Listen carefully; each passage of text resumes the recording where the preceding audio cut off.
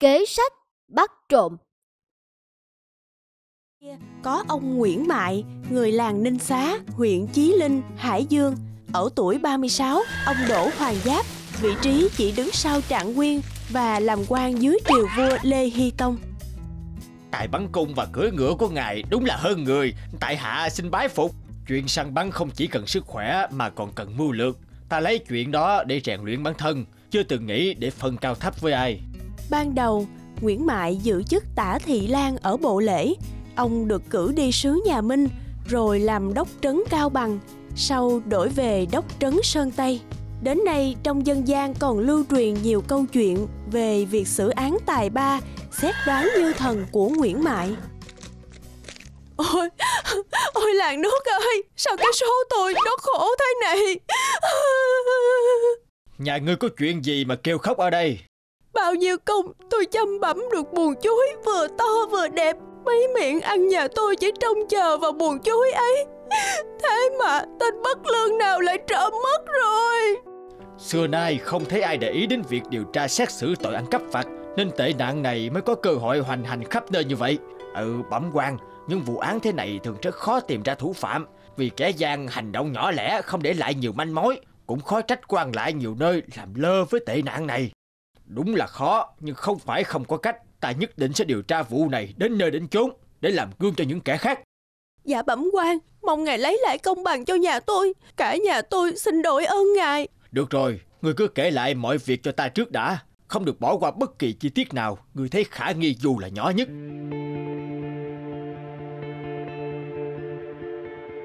Những chi tiết mà nhà ngươi kể đều chỉ là suy đoán, không thể là bằng chứng được. Dạ bẩm quan Vậy là không thể tìm được kẻ trộm sao quan Chắc chắn phải có manh mối nào đó chứ. Vết chặt trên cây còn mới, có lẽ bị trộm cách đây không lâu. Kẻ trộm hành động nhanh gọn, không để lại manh mối gì. Chắc hẳn phải là người quanh đây. Ngươi yên tâm, ta đã nghĩ ra cách giúp nhà ngươi rồi. Ừ, bẩm quan, tại sao lại phải như vậy? Ngươi cứ đến gặp lý trưởng và truyền đạt lại những lời của ta. Mọi chuyện lát ngươi sẽ rõ thôi. Ồ, sao bỗng nhiên lý trưởng lại yêu cầu chúng ta đi phép ao đình nhỉ? Ờ, nghe đâu có vị quan lớn đi qua ao đình Thấy loài cá lạ Vậy nên huy động cả làng mình đi vét ao bắt cá Thấy bảo nếu bắt được sẽ có trọng thưởng đấy Ờ, ừ, ờ vừa nghe có thưởng cả làng mình đã kéo nhau đi nườm nượp Chưa hôm nào thấy làng mình đông đủ hăng hái thế này Bắt hăng hái quá Loáng cái đã thấy bắt được hai ba con rồi Anh có kém gì tôi đâu Nhưng không biết con nào mới là con quan trên vừa mắt Ngài có thể cho ta biết mục đích của chuyện này không? Một người dân trong làng báo với ta về chuyện nhà chị ta bị mất trộm buồn chuối. Bằng cách này ta có thể tìm ra kẻ trộm. Khi ngài phải nhọc công vì một vụ án nhỏ như vậy, ta thật đáng tội. Có thể ngươi thấy đây là một vụ nhỏ, nhưng nhiều vụ án nhỏ sẽ tạo ra một bất ổn lớn. Sự yên bình của một làng, một nước, suy cho cùng cũng từ sự yên bình của mỗi người dân mà thành. Nếu chúng ta cứ để những kẻ ăn cắp vặt này tự do ngoài vòng pháp luật, sớm muộn gì cũng có ngày gây họa lớn thôi. À, lời ngài nói chi phải, ta đã quá nông cạn rồi. Ngươi hiểu ra là chuyện đáng mừng. Giờ thì hãy sai người giúp ta mua trầu cao về đây. Ta sẽ đích thân mời trầu cho từng người trong lúc nghỉ giải lao. Cả làng đã vất vả một phen rồi. Ừ, chuyện này à, cứ làm theo lời ta nói. Kẻ trộm sẽ sớm lộ diện thôi. Mọi người nghỉ giải lao nào. Ờ, quan đốc trấn đã sai người chuẩn bị trầu cao cho mỗi người ăn trong lúc giải lao để khích lệ tinh thần. Ngài còn muốn đích thân mời trầu từng người, tất cả như rửa tay sạch sẽ cho ta. Ờ, quan đốc trấn thật là chu đáo. À, đội ơn ngài, à, ngài thật chu đáo. Liệu có phải hắn? Bàn tay này cũng sạch, không phải hắn. Đã phát trầu cho gần hết người dân trong làng rồi mà vẫn không tìm thấy thủ phạm. Lẽ nào suy đoán của ta là sai? À, vất vả rồi, ăn miếng trầu cho lại sức. Dạ, đội ơn quan trên. Bàn tay của hắn có vết thâm bẩn. À, đúng rồi, tên trộm đây rồi. Sao ta anh lại có vết gì thâm bẩn thế này? Trông như nhựa chuối phải không? Bẩm quan, phải ạ, con à, con vừa chặt buồn chuối trong nhà nên nhựa chuối dính vào, rửa mãi không sạch ạ. Vậy ngươi hãy dẫn ta về nhà, ta muốn xem buồn chuối nhà ngươi thế nào, cây chuối nhà ngươi ra sao. Ờ, ờ, bẩm à, bẩm quan à, sao người lại còn sao với trăng gì nữa chứ? Quan trình muốn xem cây chuối của nhà ngươi nhanh dẫn người đi. Ờ bẩm quan xin thứ tội cho con. Chẳng mấy khi được diện kiến quan lớn nên ban nãy con có chút bối rối nói nhầm là sáng nay con đi đến thăm người họ hàng ở xa được biếu buồn chuối mang về. Chứ nhà con thì làm gì có chuối ạ? À? có chuyện gì thế nhỉ? Khá khen cho nhà ngươi lương lẹo đủ đường. Thu thật với nhà ngươi ta đang cần một buồn chuối để làm lễ trong phủ. Nhưng gia nhân mua thế nào cũng không vừa mắt ta. Buồn chuối nhà ngươi là của biếu chắc hẳn là phải to đẹp lắm. Ngươi có thể bán lại cho ta được không? Thì ra là vậy bẩm quan chuyện này có gì khó đâu. Để con về nhà mang buồn chuối qua đây cho ngài ạ. Ta hỏi nhà ngươi một lần nữa. Đây có thực là buồn chuối mà nhà ngươi được biếu hay không? Ờ, dạ dạ bẩm quan ờ, ờ, đúng ạ. Người đâu? Bắt kẻ này lại. Áp giải đến nhà người mất buồn chuối sáng nay cho ta. Bẩm quan ban cho tôi quá. Tôi có trộm cắp gì buồn chuối nhà chị dần đâu. Ta còn chưa nói nhà nào mà ngươi đã biết là nhà chị dần. Vậy còn kêu oan được sao? Được rồi ta sẽ khiến người tâm phục khẩu phục kích thước cũng như vết cắt của buồn chuối và cây chuối vừa khích. Không thể có chuyện trùng hợp đến thế được. Chỉ có thể là nhà ngươi đã chặt trộm buồn chuối của chị này thôi. Ngươi có biết nhựa chuối sau khi dính bùn bẩn thì sẽ rất khó rửa sạch không? Chính đôi bàn tay này đã tố cáo ngươi là kẻ trộm. Bẩm quan là con trót dạy, tham quan của nhà người khác, tội nhỏ lại phạm lần đầu. Mong quan trên xá tội cho.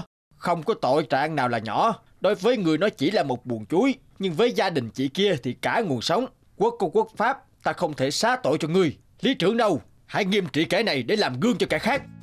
Ta xin tuân lệnh. Ờ đúng rồi phải nghiêm trị. À, quan trên phán xử hay quá. Sử sách đến nay vẫn còn viết về Nguyễn Mại như bao công của đất Việt, một vị quan thanh liêm, chính trực, có mưu lược, xét kiện sáng suốt, được người dân nể trọng. Chuyến xe không đồng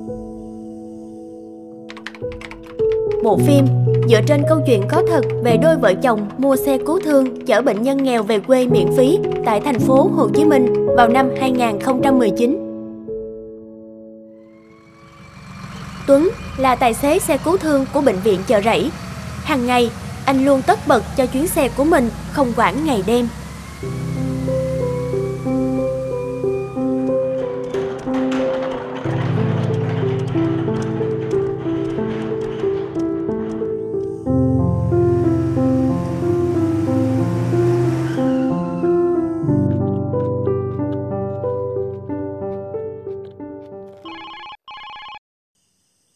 Dạ alo Xin hỏi có phải anh Tuấn không ạ?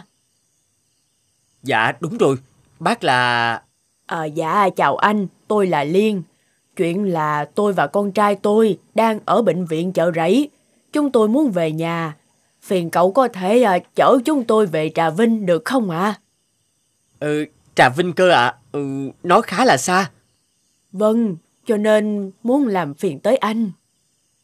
ừ dạ được vậy bác và anh chuẩn bị đi nha bây giờ cháu sẽ tới liền ạ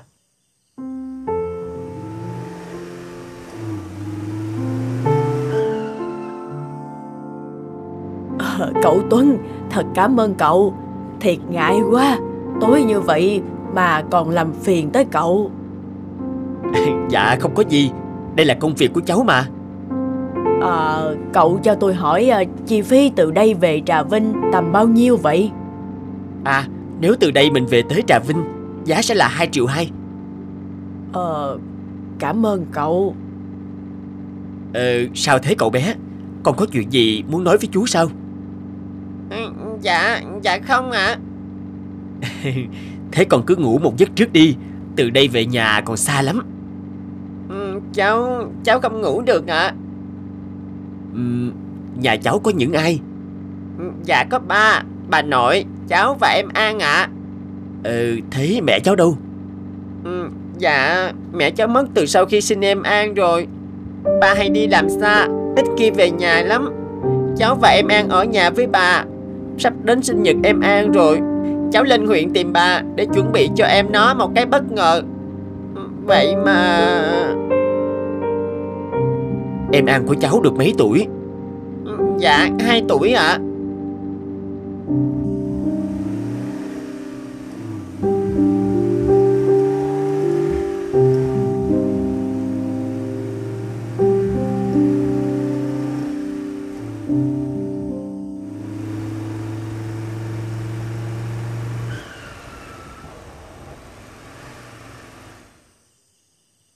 trời ơi Nhà của họ đây sao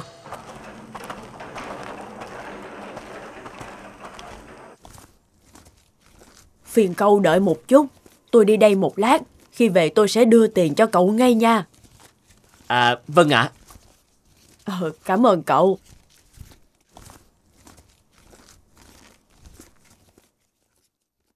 Ba mươi phút sau Bình về rồi đó à Bé An biết anh nó về.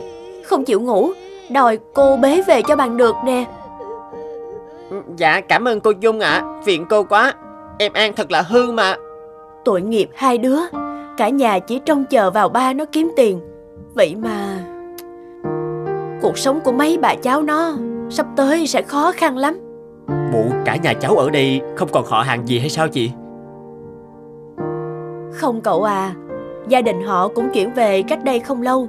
Nhà nghèo nên cả xóm cũng thương lắm. Lần này ba thằng Bình gặp tai nạn Cả xóm cũng gom góp cho chút ít Mới có tiền đi bệnh viện. Mà chắc cũng hết rồi. Lúc nãy bà Liên còn đến vay của tôi một khoản nữa nè. Ôi, Thiệt là tội cho họ quá.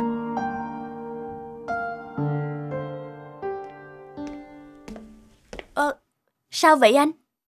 Em à Anh muốn mua thêm một chiếc xe cứu thương nữa Không phải anh đã có một chiếc rồi à?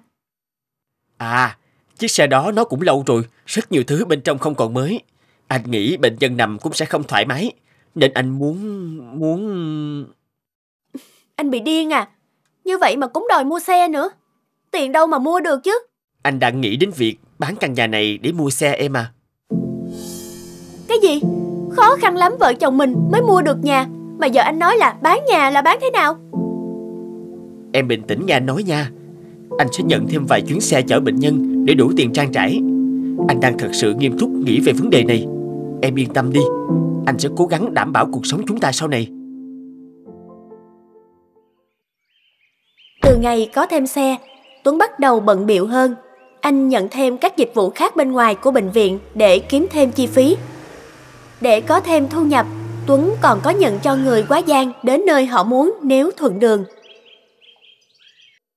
Hồng nè, có người nhà bệnh nhân tên Nhân muốn về nhà, một tí em làm thủ tục nha. Dạ chị. À mà lát nữa em sẽ đưa họ số của anh Tuấn chạy xe cứu thương luôn. Nãy gia đình bệnh nhân mới hỏi em á. Sao mỗi lần đi xa, em đều đưa mỗi số anh Tuấn vậy? Thì chỉ có anh đó mới đi thôi. Nhà bệnh nhân ở tận Đắk Lắk đó chị. Các tài xế khác, họ ngán đường xa, lại hay gặp sự cố giữa đường lắm. Ờ, cũng đúng. Lần trước ở Trà Vinh, tận 120 cây, ảnh còn đi nổi mà. ừ, nghe sau đó thì ảnh bán nhà mua thêm chiếc xe nữa đó chị. Thời đại giờ mà em, kiếm được một nguồn thu hấp dẫn, lại đơn giản chỉ chạy đi chạy về như vậy, phải tranh thủ chứ. Ôi, thôi chết rồi, là anh Tuấn đó Không biết là anh ấy có nghe không nữa Nghe thì nghe đi Mình nói đúng chứ bộ Muốn người khác không biết, trừ phi mình đừng có làm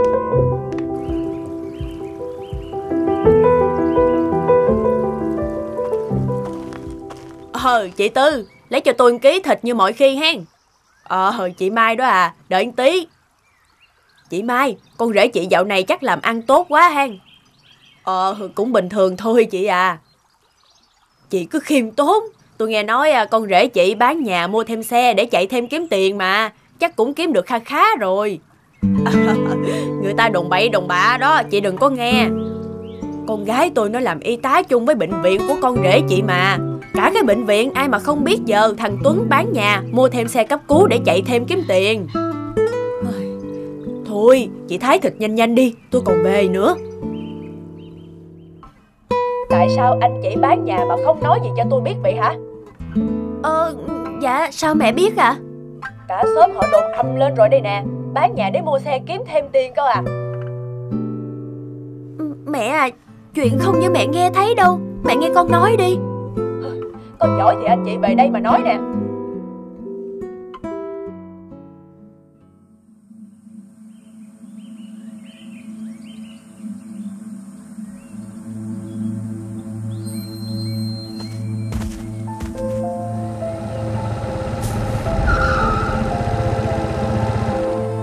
Ôi trời ơi Bác bị làm sao thế này ạ?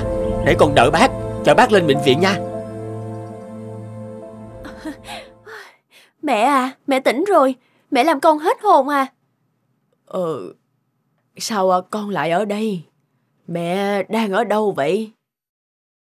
Dạ, đây là bệnh viện tỉnh, tụi con vừa về tới nhà. Bà nói mẹ đang nằm ở trạm y tế xã. Cũng may á là anh Tuấn có sẵn xe cứu thương, nên đã đưa mẹ thẳng lên đây luôn á. Bác tỉnh lại là tốt rồi. Bác bị thiếu máu não. May mà người thanh niên này đã đưa bác đến cấp cứu kịp thời. Dạ, thật sự cảm ơn anh nhiều lắm. Có gì đâu. Nếu nói về ơn nghĩa, tôi còn phải cảm ơn anh chị nhiều lắm chứ. Ờ, sao cơ? À, trước kia mày nhờ có anh Tuấn đây chở mẹ tôi từ bệnh viện về nhà ở tận Phan Thiết mà lại không lấy tiền. Nhờ vậy gia đình tôi cũng đỡ đần được lúc khó khăn ấy. Không ngờ lần này lại giúp được anh. May quá. Ờ, chỉ là chuyện tôi nên làm thôi. Dù gì cũng cảm ơn anh rất nhiều nha. Ừ, thật ra thì... Bác cứ giữ lấy đi ạ. Sau này còn cần phải dùng nhiều lắm. Ờ, nhưng mà nhưng cậu chạy cứu thương từ thành phố Hồ Chí Minh về tận Trà Vinh cơ mà. Không sao đâu ạ. Gia đình cần số tiền này nhiều hơn cháu. Anh nói thật đi, vậy tại sao anh lại muốn mua xe? Em cũng thấy rồi đó. Có rất nhiều gia đình có hoàn cảnh khó khăn hơn chúng ta nghĩ. Đối với họ, một khoản tiền phí đi xe như vậy sẽ giúp được họ rất nhiều thứ về sau. Anh muốn có thêm những chuyến xe sẵn sàng giúp đỡ những gia đình ấy. Tuy cái chúng ta nhận lại không phải là tiền bạc, nhưng lại chính là tình thương của mọi người, cũng như hôm nay vậy. Em ủng hộ anh. À, thì ra là vậy. Chúng tôi cứ nghĩ cậu lợi dụng sự khó khăn của người khác để kiếm tiền chứ. Ờ, không, ngờ... À, à, trời, thật hổ thẹn. Tôi thành thật, xin lỗi cậu nha. Tôi cũng hiểu mà, nhưng tôi không trách hai cô đâu. Ừ, mẹ à, con xin lỗi mẹ. Tụi con... Mẹ, con xin lỗi mẹ. Tụi con... Được rồi, ừm, con... mẹ đã hiểu tấm lòng của hai đứa, nhất là con. Mẹ chỉ là lo cho các con không có chỗ ăn chỗ ở mỗi khi đi làm về thôi. Giúp đỡ người là một việc tốt mà, mẹ ủng hộ hai đứa. Con cảm ơn mẹ. Từ đó, anh đã hoàn toàn được sự ủng hộ từ phía gia đình. Và cũng từ sau sự việc lần đó, tiếng lành anh không lấy tiền của người nghèo đã được nhiều người biết đến.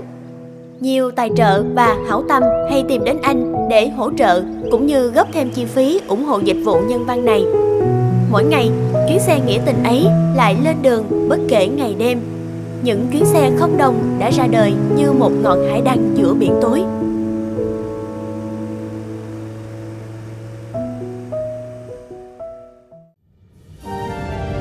Nàng tiên cá hai đuôi Melusine Ngày xưa, ngày xưa, ở nước Pháp cổ kính, mỗi con sông đều có vị thần cai quản để ban sự sống an lành cho dòng sông đó. Dòng sông Shin cũng vậy. Nơi đây, nàng tiên cá hai đuôi Melusin xinh đẹp chính là vị thần quyền năng bảo vệ vạn vật dưới nước, cũng như hai bên bờ sông cho một cuộc sống yên bình. Xem chừng sắp có điều chẳng lành rồi. Tai ương sắp tới có vẻ sẽ rất lớn. Một mình ta liệu có bảo vệ được tất cả không đây? Khung cảnh đẹp mắt này thật đáng tiếc sắp bị hủy hoại rồi. Phải lên đầu nguồn canh chừng sẵn mới được.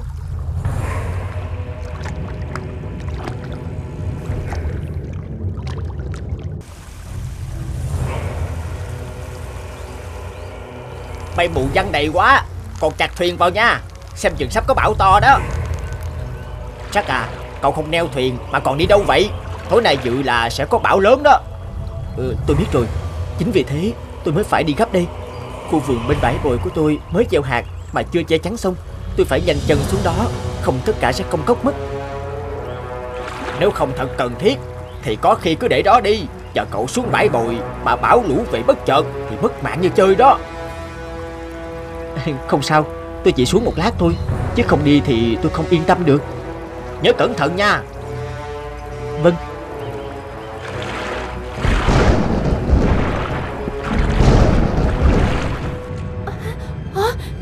Về rồi sao? Nhanh hơn cả mình dự đoán rồi. Ừ, Mưa mất rồi.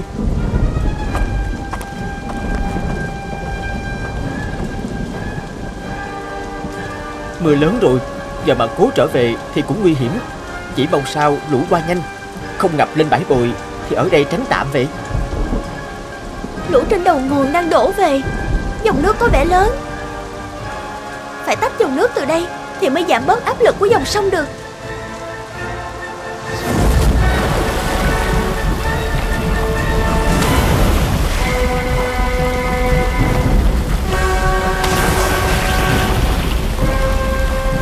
Nước sông đang dâng rất nhanh.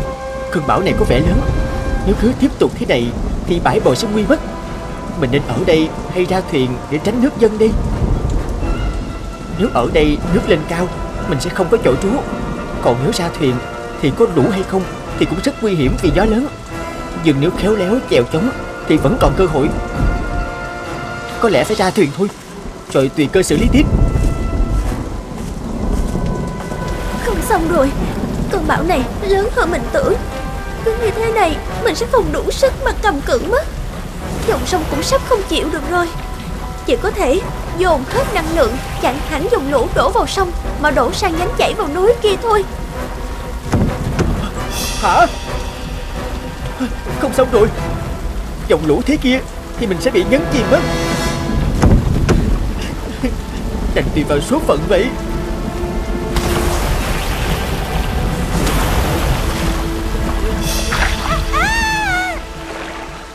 Ủa? Sao dòng lũ vẫn chưa tới ư? Hả? Chuyện gì thế này? Dòng lũ đâu rồi? Không thể tin được, Như vừa có một phép màu xảy ra vậy.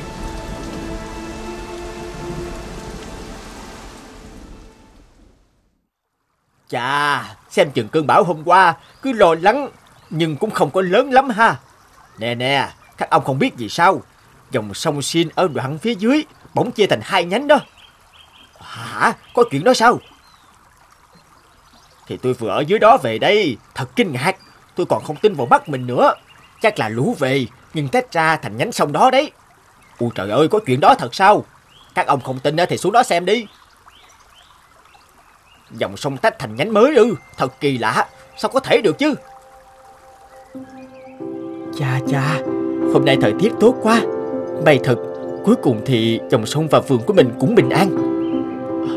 Ủa, gì thế kia? Là một cô gái ư Sao cô ấy lại dạt vào đây thế này Ờ May quá Cô ấy còn sống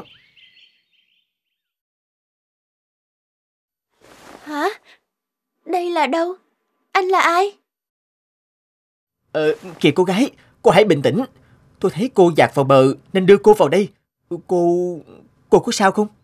Hả? Ờ, chân L- Là chân của tôi Ừ, cô, cô, cô sao vậy? Cô có bị đau ở đâu không? À, à, à không, không có gì Cảm ơn anh đã cứu mạng Nhưng đến lúc tôi phải đi rồi Cô cứ ở đây để tôi có thể chăm sóc cô. Tôi là Jack. Ừ, xin lỗi cô, nhưng có lẽ là tôi đã phải lòng cô mất rồi. Ờ, tôi... Tôi... Tôi sẽ ở lại đây với một điều kiện Xem như đó là điều tuyệt mật giữa hai chúng ta Là anh không bao giờ được nhìn tôi tắm Nếu không, mọi thứ sẽ vĩnh viễn biến mất Anh có thể vì tôi mà làm điều này được không? Ta đồng ý. Em là Melusine Thời gian sau Melusine! Melusine ơi! Em ở đây nè Melusine, em còn ở đây sao? Chúng ta chuẩn bị về làng đi. ừ, Dạ vâng Em sợ tối nay có bão Nên đang cố hái hết chỗ trái cây này về Cũng sắp xong rồi nè Thôi, về làng nhanh đi. Chỗ trái cây này cứ để đó đã. Từ lúc em đến đây với ta, đã hai năm qua đi. Giờ ta mới thấy thời tiết có vẻ đáng lo ngại thế này. Ta sợ sẽ có bão như năm xưa đó. Thế nên cứ để đó về làng cho an toàn đã. Em hiểu sự lo lắng của anh mà Được rồi mình về làng thôi nào anh vào nhà trước đi, em chạy ra bờ sông một chút sẽ trở về ngay. Hãy tin em nha, nhớ sự thỏa thuận giữa hai chúng ta suốt thời gian qua đó. Anh ở yên trong nhà và đợi em nha. Ừ, nhưng mà...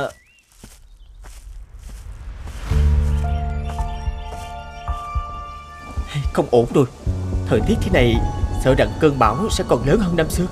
Mình không thể ngồi yên thế này được. Cú lên nào. Cẩn thận nha. Không xong rồi, Thì con Mie bị cuốn đi rồi. Không kịp đâu trách à. Dưới kia có khúc mạnh Tôi sẽ bắt được dây neo thuyền thôi. Ờ Ủa Cái chân phải là Melusin sao? Melusin Cô ấy đi đâu vậy? Ờ Nhưng không được. Cô ấy đã dặn mình là Không được đến gần khi cô ấy chạm vào nước. Nhưng mà cô ấy đi đâu làm gì Trong lúc bão lũ thế này chứ? Melusin Em định làm gì thế? Melusin Em làm gì thế? Quay lại ngay. Jack à Sao anh lại ra đây? Đây Đây là lý do Mà từ trước Em luôn không cho phép anh nhìn em Mỗi khi em chạm vào nước phải không? Melusin Em thật ra là ai? Jack à Điều đó không quan trọng. Em phải cứu dòng sông và thôn làng cái đã. Sau đó Chắc cũng không gửi lời chào đến anh được. Anh đã biết sự thật rồi Cho nên em không thể ở lại như trước được nữa.